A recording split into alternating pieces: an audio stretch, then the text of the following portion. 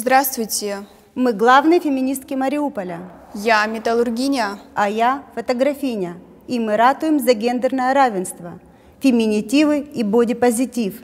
Ты женщина, а не посудомойка. Мужчины, я и сама могу купить себе цветы. Спасибо, большое спасибо.